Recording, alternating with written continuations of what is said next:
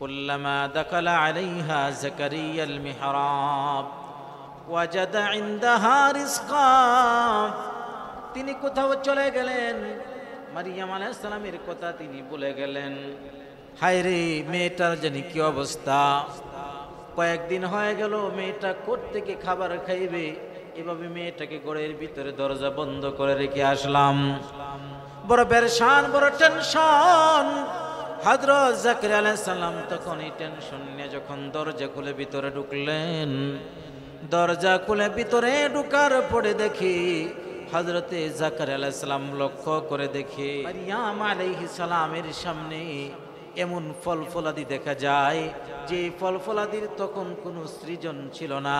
অর্থাৎ আন সৃজনের ফল ফলাদি তার সামনে কোনো অভাব নাই সুবাহ তুল ফিরদাউস জামে মসজিদ কর্তৃক আয়োজিত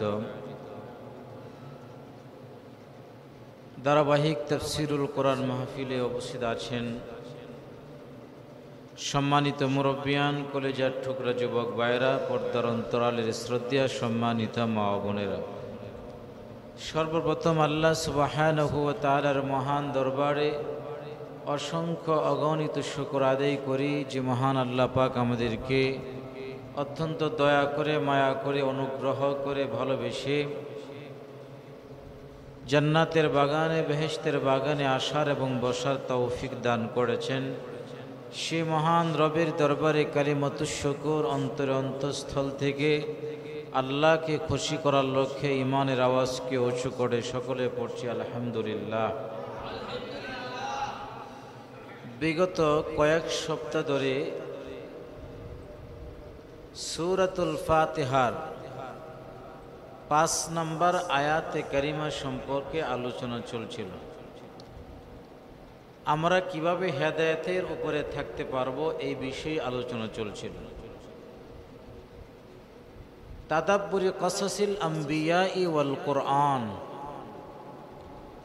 হেদায়তের উপরে অবিচল থাকার মাধ্যম হল কোরআন, হাদিস বর্ণিত নবীদের যে সমস্ত ঘটনা রয়েছে, সেই ঘটনাগুলো নিয়ে চিন্তা, গবেষণা করা।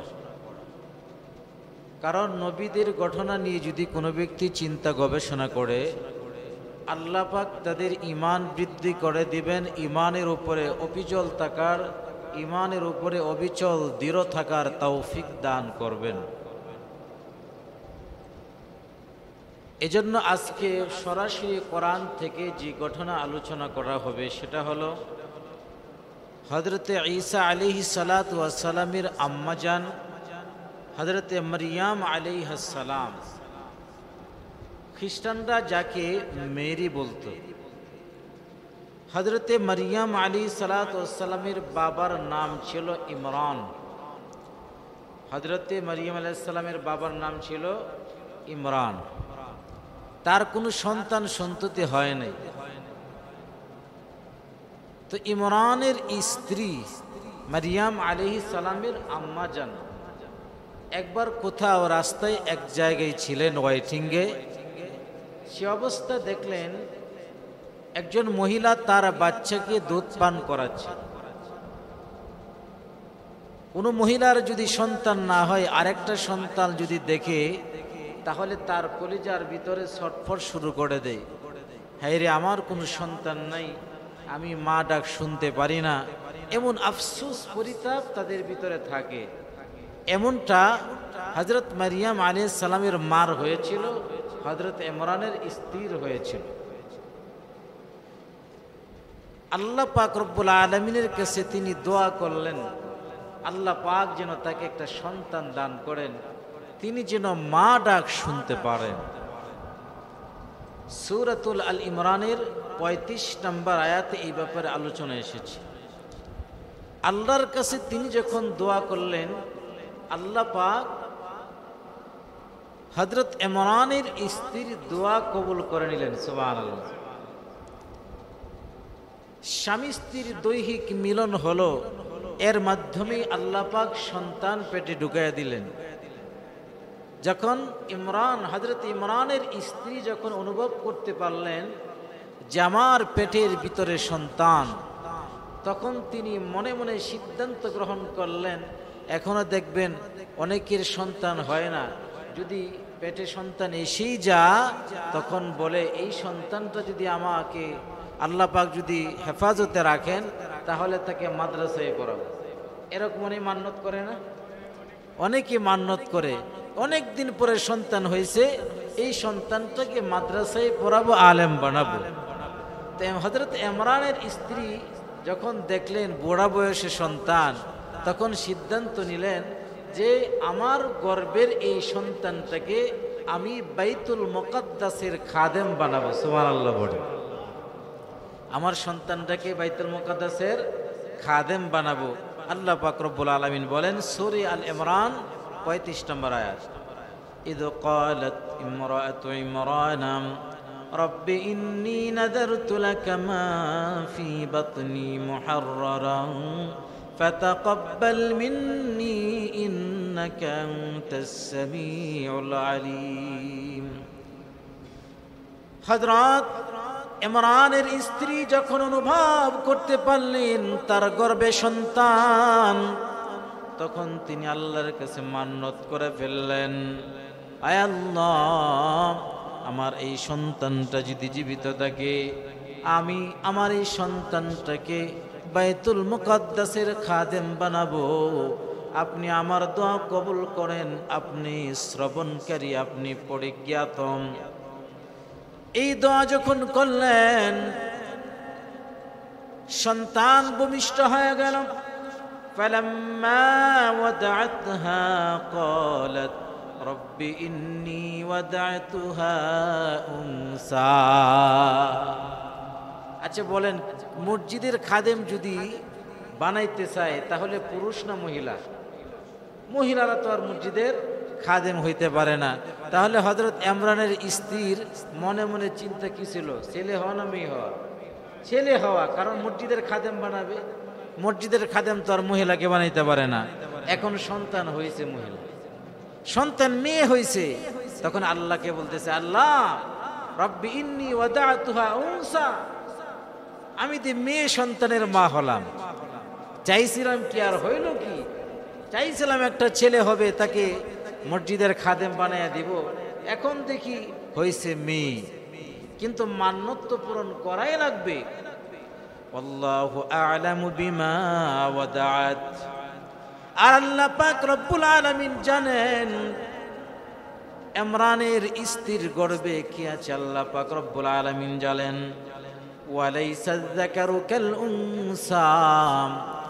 আর আল্লাহ পাক বলে দিলেন, এটা সাধারণ কোনো মহিলা না, সাধারণ কোনো নারী না।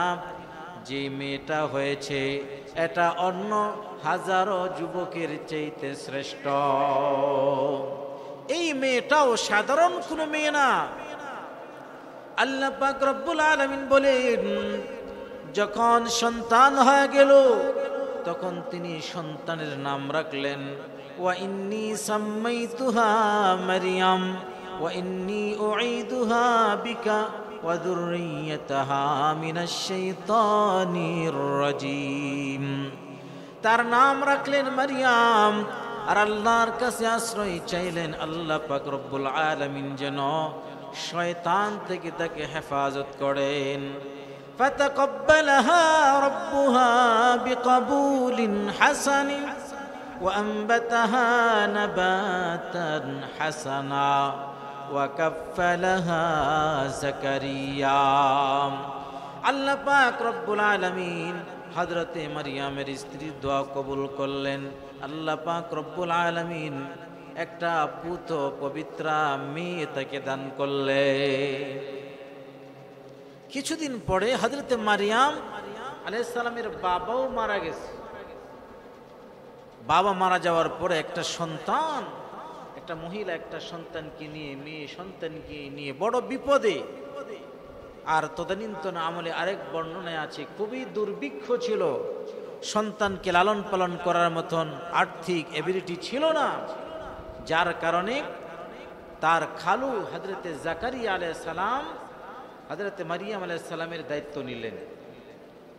কিন্তু যেহেতু মা মান্যত করেছে, মসজিদের খাদেম বানাবে মান্যত তো পূরণ করতে হয়। এজন্য আর মসজিদের ভিতরে তো তাকে ঢুকতে দেওয়া যায় না। মসজিদের পাশেই একটা কামরা বানায় দিল। হজরত মারিয়াম সেখানে থাকার জন্য আর যখন মানুষেরা মসজিদ থেকে চলে যাবে, নীরবে তখন তিনি মসজিদের খাদেমার কাজ করবেন, মসজিদ পরিষ্কার পরিচ্ছন্ন করবেন। ছোট্ট মেয়ে হজরত জাকির আলাহ সাল্লাম তার খালো তিনি খাবার নিয়ে যাইতেন সেখানে নিয়ে খাবার পৌঁছাইতেন হঠাৎ করে একদিন কোথায় জানি চলে গেলেন كلما دخل عليها زكريا المحراب وجد عندها رزقا তিনি কোথাও চলে গেলেন মারিয়াম আলাইসালামের কথা তিনি বলে গেলেন হায় রে মেয়েটার জানি কি অবস্থা কয়েকদিন হয়ে গেল, মেয়েটা থেকে খাবার খাইবে? এভাবে মেয়েটাকে ঘরের ভিতরে দরজা বন্ধ করে রেখে আসলাম। বড় বেরসান বড় টেনশন। হজরত জাকির আলাইসাল্লাম তখন এই টেনশন নিয়ে যখন দরজা খুলে ভিতরে ঢুকলেন, দরজা খুলে ভিতরে ঢুকার পরে দেখি হজরতে জাকির আলাইসাল্লাম লক্ষ্য করে দেখি তার মেয়ে, তার এই মেয়ে মারিয়াম আলাইহি সালামের সামনে এমন ফল ফলাদি দেখা যায়, যে ফল ফলাদির তখন কোনো সৃজন ছিল না। অর্থাৎ আন সৃজনের ফল ফলাদি তার সামনে কোনো অভাব নাই, সুবহানাল্লাহ।